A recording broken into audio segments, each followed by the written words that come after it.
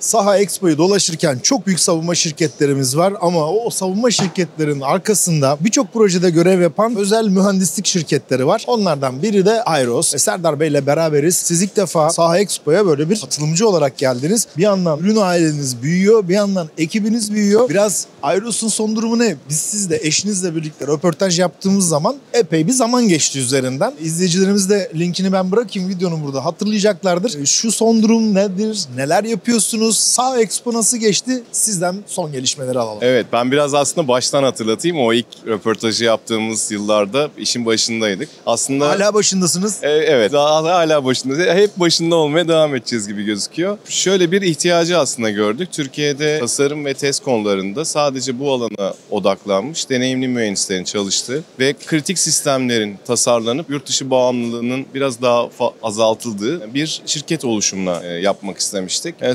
söylediğimiz o röportajda bahsettiğimiz aslında birçok hedefi de gerçekleştirmiş durumdayız. Şu anda e, ülkemizin çok önemli projelerinden biri olan Kaan'da imzamız var. TÜBİTAK MAM'la beraber iki tane önemli alt sistemi geliştirilmesinde, tasarlanmasında ve e, testlerinde şu anda görev yapıyoruz. Buna ilave olarak da bu geçtiğimiz 5 sene içerisinde 60'tan fazla farklı projemiz oldu. Havelsan, Aselsan gibi, STM gibi çok önemli büyük firmalarla çalışmalarımız yürüdü. Bunlar e, bu zamana kadar aslında tasarım ve test mühendislik hizmetleri olarak devam ettik. Biz asla danışmanlık o- olarak adletmedik. E, İşin sorumluluğunu aldık. Tüm hesap kitapları bizde oldu. E, Ekibimizdeki farklı mühendislik dallarıyla bunları aslında komple çözüm olarak sunmaya çalıştık. E, Biraz müşterilerimizin hem takvimlerini hem de kendi dertlerini, o telaşelerini de birebir hissettik. Daha önce de bahsetmişimdir. Ayros aslında eski TUSAŞ'lı bir ekibin e, oluşturduğu bir e, tasarım ve test ofisi. E, Şimdi yeni yeni artık yavaş yavaş başka iki tane daha alanda kendimizi göstermek istiyoruz. Nedir o alanlar? Bu alanlar bir tanesi aslına bakarsanız ülkemizde pod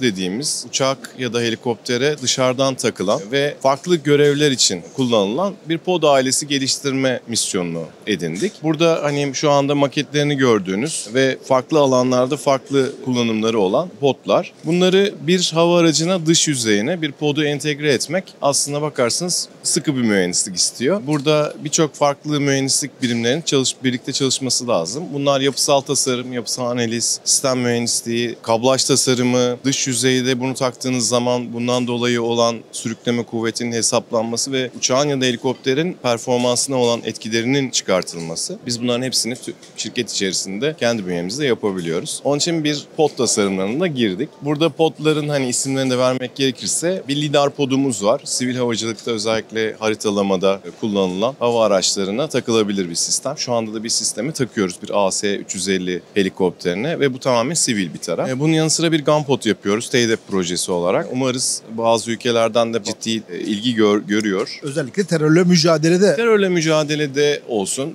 Bu tabii bizim ülkemizde şu anda havacılık sanayimizin geldiği seviye çok üst bir seviye. Ama daha başka ülkelerde sadece sınır koruma için bile e, ve hani püskürtme amaçlı bir eğitim helikopterine, bir eğitim uçağına, daha ufak platformlara bir gunpot takıp onu havadan silahlandırma kabiliyeti kazandırmış olabiliyorsunuz. Buradan sonra bir yakıt podu da e, aslında tasarımına girdik. O da yine yurt dışından bir talep üzerine oldu. Burada da tabii Gunpot gibi önemli bir sistemler sistemidir Gunpot çünkü tasarım kolay değil. Ondan sonra yakıt podu bizim için çok daha hani kolay sayılabilecek bir ürün oldu ama yine aynı özellikle sertifikasyon konusunda, airworthiness konusunda önemli bir çalışmalar yapılması gereken bir ürün. Buna biz ilave olarak bir de kargo podu ve mission pod dediğimiz özellikle mission pod dediğimiz tarafta bir search and rescue kabiliyeti kazandırmak üzere. Tüm sistemlerin kendi içinde olduğu bir poddan bahsediyoruz. Ee, şimdi Expo'da tabii beyin fırtınaları da oluyor.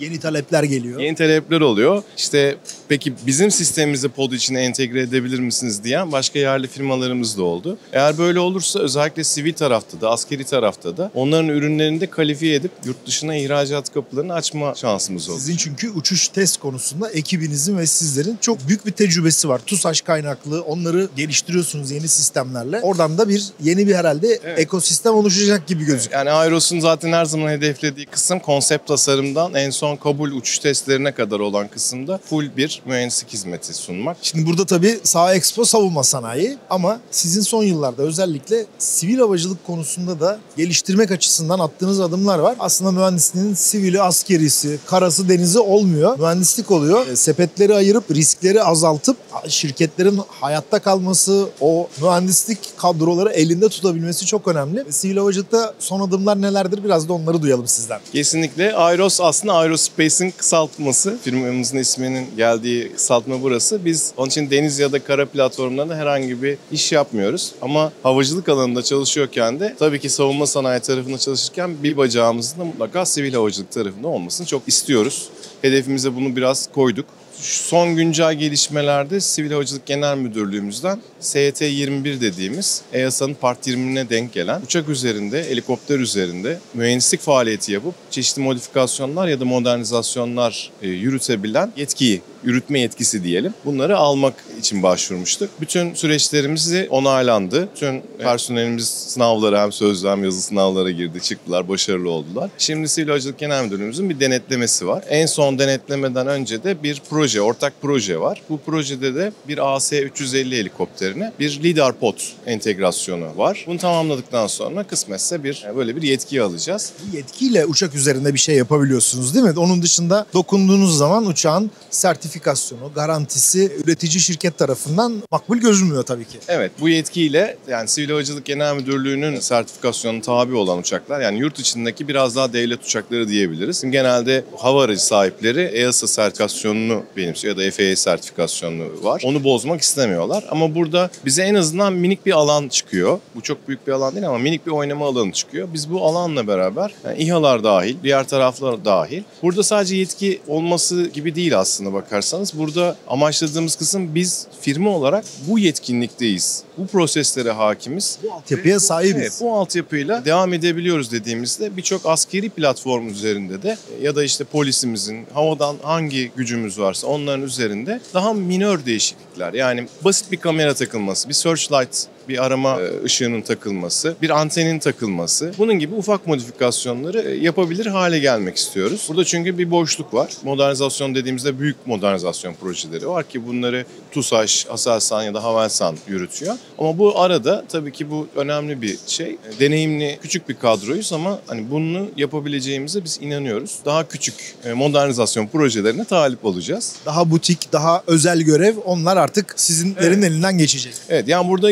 spektrum çok geniş aslında bakarsanız. Bizim için hangi ürünün takıldığının hiçbir önemi yok ama o ürünün emniyetli biçimde ve tüm helikopterin yaşam döngüsü ya da uçağın yaşam döngüsü boyunca emniyetli biçimde görev yapması uçağa ya da helikoptere herhangi bir etkisinin olmaması gibi önemli kısımları garanti altına alacağız. Burada evet. tabii bir başka güzel hedefimiz de şu, ülkemizde şu anda savunma sanayi için geliştirilen birçok ürün var. Bu ürünleri eğer sivil alanda da sertifikasyonları gerçekleşirse buna biz ETSO sertifikasyonu diyoruz. O zaman pazar payı biraz daha pazarları biraz daha farklı noktalara gidecek. Oralara da katkıda bulunmak istiyoruz. Örnek vereyim. Biraz karışık oldu. Atıyorum bir Malezya bir kamera ve radyo anteni entegrasyon istedi diyelim. Biz ülkemizdeki bir kamerayı, ülkemizde geliştirilen bir filir kamerayı ya da daha basit bir kamerayı yine ülkemizde geliştirilen bir anteni desteğini oraya ürün olarak önerebiliriz. Onlar eğer kabul ederse, kabiliyetleri de eğer o göreve uygunsa onların ürünlerini yurt dışındaki bir platforma takma, e, onu entegre etme şansımız olacak. Bu da